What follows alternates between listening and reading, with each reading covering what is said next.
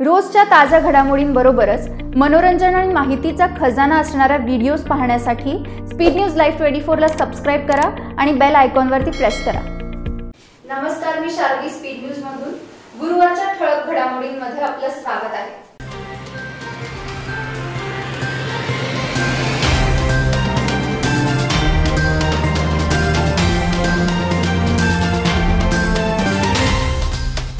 गेल्या दोन दिवसांपासून कोल्हापुरात मुसळधार पावसाने थैमान घातले आहे.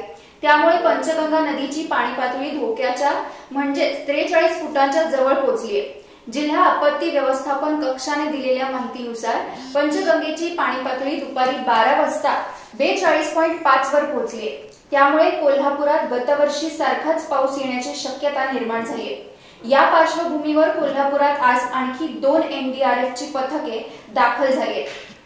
या दोन पथकातील प्रत्येक पथकात बावीस जवानांचा समावेश आहे. यातील एक पथक कोल्हापुरात तर दुसरे शिरोळ तालुक्यातील टाकळी येथे पोहोचले आहे. दरम्यान आरोग्य राज्यमंत्री राजेंद्र पाटील यड्रावकर यांनी काल मुख्यमंत्री उद्धवजी ठाकरे आणि राज्याच्या आपत्ती व्यवस्थापनाचे प्रधान सचिव किशोरराजे निंबाळकर यांना कोल्हापूर जिल्ह्यामधील संभाव्य पूर परिस्थितीबद्दल विस्तृत माहिती दिली होती.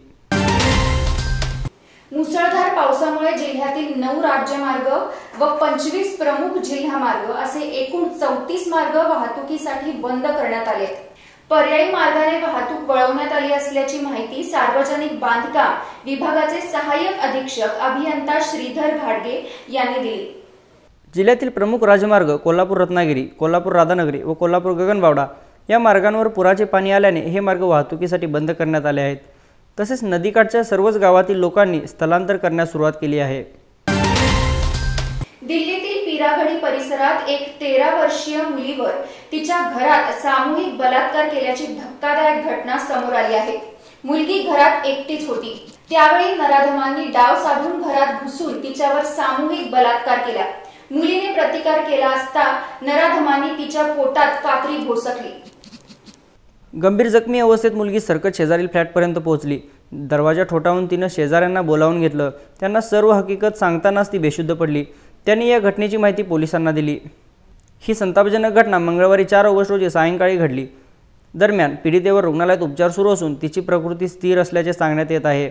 तिने दिलेल्या जबाबानंतर पोलीस आरोपींचा शोध घेत आहेत. सोलापूरच्या ग्रामीण भागात कोरोनाने हाहाकार माजवला आहे. बुधवारी रात्री बारा वाजेपर्यंत जिल्ह्यात दोनशे त्र्याऐंशी कोरोनाबाधितांची भर पडली. एकाच दिवशी एवढे रुग्ण सापडण्याचा हा विक्रम झालाय. यातच दिवसभरात नऊ जणांचा मृत्यू झालाय. सोलापूर शहराच्या हद्दीत मर्यादित असलेला कोरोना आता जिल्ह्याच्या प्रत्येक गावात शिरकाव करू लागला आहे. त्यामुळे नागरिकांमध्ये भीतीचे वातावरण आहे. पण शासनाने दिलेल्या नियमांचे पालन नागरिकांकडून होत नसल्याचे स्पष्टपणे दिसून येत आहे. त्यामुळे कोरोनाबाधितांची संख्या दिवसेंदिवस वाढत चालली आहे. आज एकूण दोन हजार एकशे सत्याहत्तर जणांचा अहवाल प्राप्त झाला आहे. जिल्हा आरोग्य अधिकाऱ्यांनी दिलेल्या अहवालानुसार त्यातील एक हजार आठशे सत्याऐंशी जणांचे अहवाल निगेटिव्ह आले आहेत.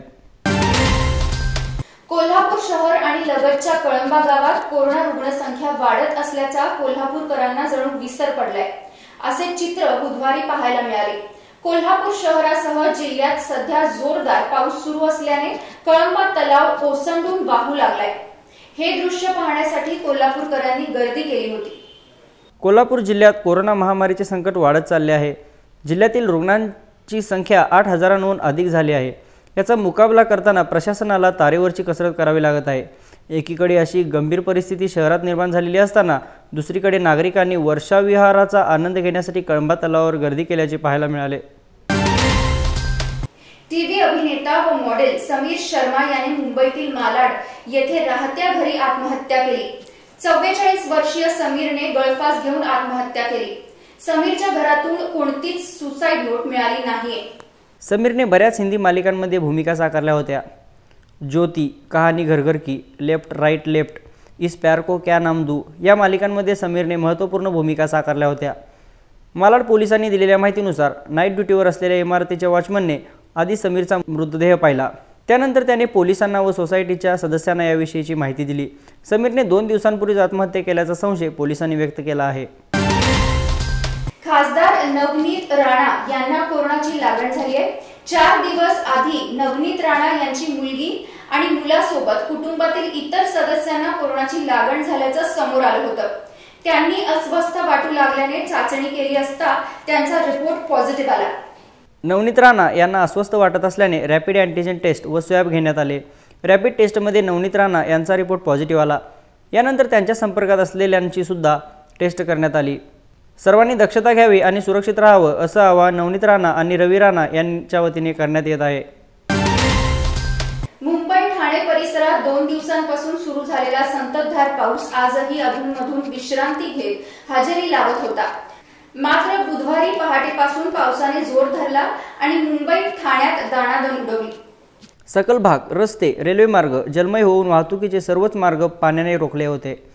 मुंबईत तब्बल एकशे एक्केचाळीस ठिकाणी झाडे कोसळली. सोसाट्याच्या वाऱ्यामुळे अनेक इमारतींच्या खिडक्यांचा काचा फुटल्या. तर पाणी गळती रोखण्यासाठी झोपड्यांवर घातलेले प्लास्टिक उडून गेल्याचं पाहायला मिळालं. पावसामुळे मुंबईतील जनजीवन विस्कळीत झालं आहे. तर अनेक ठिकाणी ट्रेन आणि गाड्याही अडकल्याचं पाहायला मिळालं. मुसळधार पावसामुळे एन डी आर एफ आणि आर पी एफच्या जवान देखील बचाव कार्यात उतरलेले दिसत होते. कोरोनाचे संकट असतानाच आणखी एक भीषण दुर्घटना घडल्याचं समोर आलं आहे. अहमदाबाद येथील कोरोनाग्रस्त रुग्णालयात भीषण आग लागली. या आगीत आठ कोरोनाग्रस्तांचा आगीत होरपळून मृत्यू झालाय. आगीनं रौद्र रूप धारण केल्यानं रुग्णालयात मोठी खळबळ उडाली.